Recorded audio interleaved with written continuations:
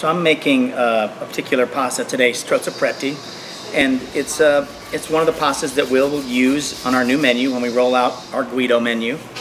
We make a lot of these pastas every day. We make extruded pastas, we make hand rolled pastas, and really it allows us to grow our pasta section on our new Guido concept.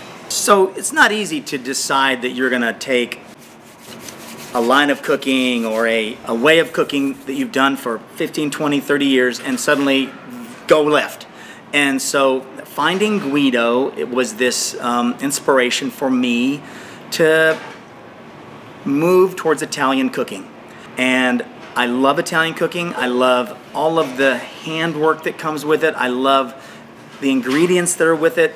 And I love all other kinds of cuisines too, but but Italian is really, for whatever reason, this late stage of my life, my career, just really gets me going. And so I've decided to change the restaurant concept at Michael Smith. We're going to leave the branding Michael Smith, but Guido, finding Guido. We're going to find our Guido. And that Guido is going to be inside me somewhere. We make handmade pastas already. We extrude fresh pastas every day.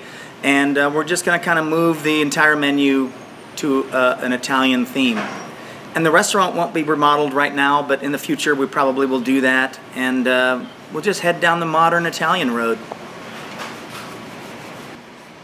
Get busy, make pasta.